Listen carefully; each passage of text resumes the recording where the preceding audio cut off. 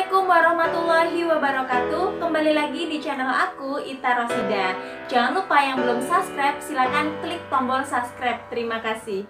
Video kali ini aku akan kasih tips ke kalian ala aku sendiri Bagaimana caranya agar kita diizinkan dan diperbolehkan memakai hijab Ketika bekerja ke negara non-muslim seperti Taiwan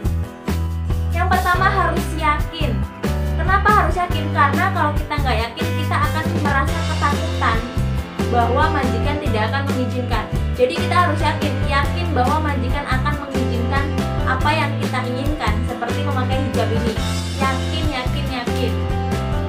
Nah, tips yang kedua, kita harus mengambil hati majikan. Seperti apa? Jadi apabila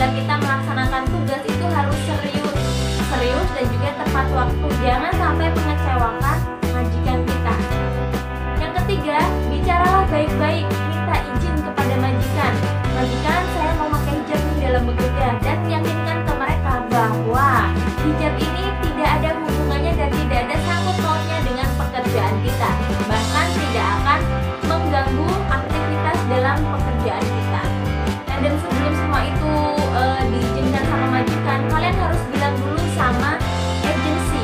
Nah, dalam agensi itu ada tugasnya masing-masing, ada sales, ada penerjemah.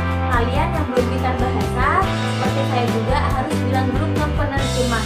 Minta tolonglah ke penerjemah untuk menyampaikan kepada majikan kita bahwa kita ini berhijab, kita muslim, jadi kita bekerja akan mengenakan simple. Insya Allah seperti yang saya pakai ini juga simple. Jadi waktu kita bekerja tidak akan mengganggu pekerjaan kita. Tips yang terakhir adalah berdoa dan selalu berusaha jangan pantang menyerah untuk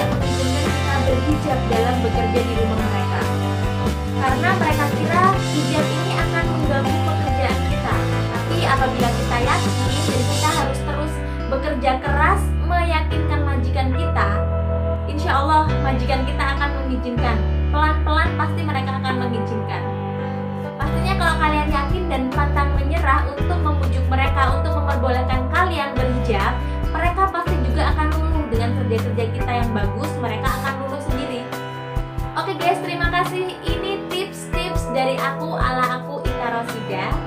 Mudah-mudahan bermanfaat dan coba kalian praktekkan apabila kalian berhasil atau kalian belum berhasil, kalian bisa komen di bawah apa sih kenapa sih majikan kalian tidak mengizinkan kalian. Oke, sekian dari aku. Terima kasih. Assalamualaikum warahmatullahi wabarakatuh.